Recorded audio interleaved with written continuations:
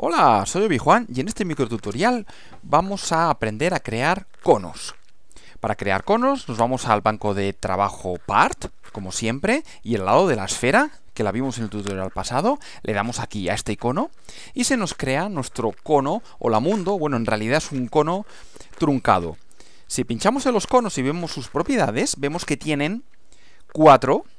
Una propiedad es la altura, otra es el radio de la base. Vamos a poner, por ejemplo, 10. Otra es el radio de la parte de arriba, porque es un cono truncado. Si esto lo ponemos a cero, lo que obtenemos es un, es un cono perfecto. Pero, y si no, pues es el obtenemos el, el radio de la parte superior.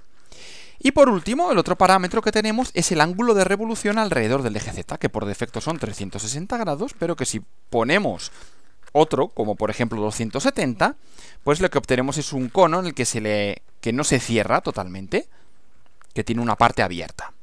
Bien, pues vamos a hacer un ejemplo utilizando conos. Vamos a crear un vaso que luego nos servirá para imprimirlo y para tener nuestro propio vaso imprimible y escalarlos y poder tener diferentes vasos. Para ello utilizamos un, cono truncado, este que nos va a definir lo que es la pared del vaso exterior, vamos a llamarlo vaso exterior. Es un cono que le vamos a dar de altura 70 milímetros, es, es, decir, perdón, 7 centímetros. Le vamos a dar del, como radio 1 15 y como radio 2, 25. Esto nos va a definir el vaso, esta va a ser la forma que tenga nuestro vaso. Ahora vamos a vaciar el interior y para ello utilizamos el mismo cono, lo vamos a duplicar en Edit, Duplicate Selection. Este va a ser nuestro vaso interior.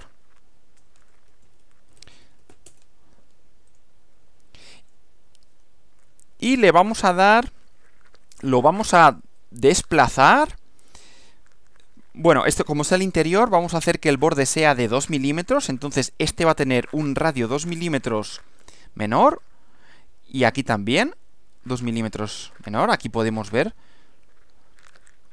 cómo se ve por aquí, cómo está en el interior, y me define lo que sería el, el grosor que va a tener el vaso. Ahora este exterior, para que en el fondo tenga 2 milímetros también de grosor, vamos a desplazarlo en el eje de las zetas 2 milímetros hacia arriba, con lo cual aquí ya sobresale. Y ahora lo restamos. Al vaso exterior le vamos a quitar el vaso interior. Y así tenemos ya nuestro vaso con 2 milímetros de espesor, tanto en las paredes como en el fondo.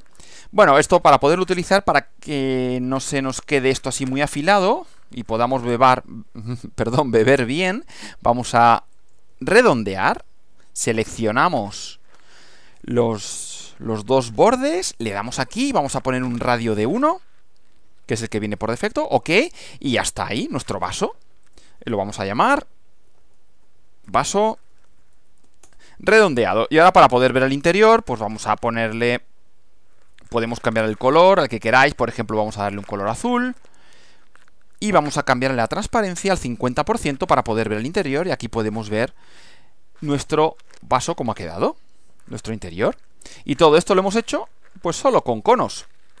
Como ejercicio, os propongo lo siguiente. Ejercicio número uno, que hagáis un tornillo de cabeza cónica como este. A este tornillo lo que le falta es luego la rosca, pero todavía no sabemos hacerla, así que de momento hacerlo así. Estas son las cotas del tornillo, es un, es un tornillo, bueno, es, casi real, salvo esta longitud que me la he inventado, pero lo demás es real.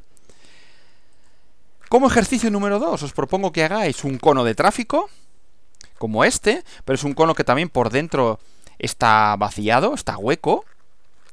Y como ejercicio, bueno, estas serían las cotas del cono, 40 milímetros de altura, tiene una base también de 40 milímetros, el radio de la base, el radio de la parte superior, etcétera. Y como último ejercicio os propongo que hagáis un embudo, un embudo como este,